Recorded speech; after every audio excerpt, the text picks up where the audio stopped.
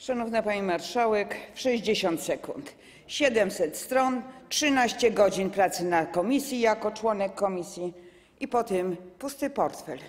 Pusty portfel dla emeryta.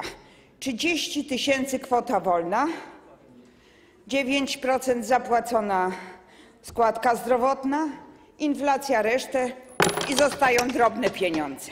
I zostają naprawdę drobne pieniądze. Co zostawiacie w tej, w tej ustawie?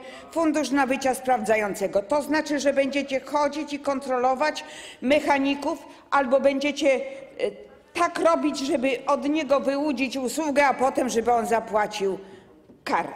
Tak nie może być. Nabycie sprawdzające na to jest 24 miliony złotych.